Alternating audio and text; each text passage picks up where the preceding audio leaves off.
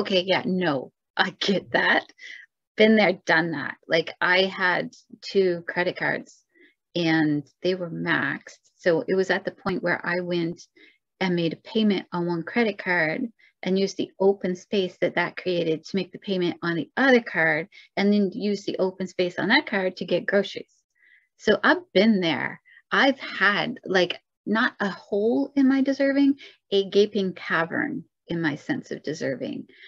Being in a mentally abusive relationship does not help that. And you have, as an accountant, a financial advisor, you think you have shame about uh, not having money? You try wearing those two hats and being broke. That's fun. Yeah, no. That's not a good place to be. And it was it's choices that we make, it's beliefs that we hold. I you don't always see the choices available to you. Not making a choice is a choice.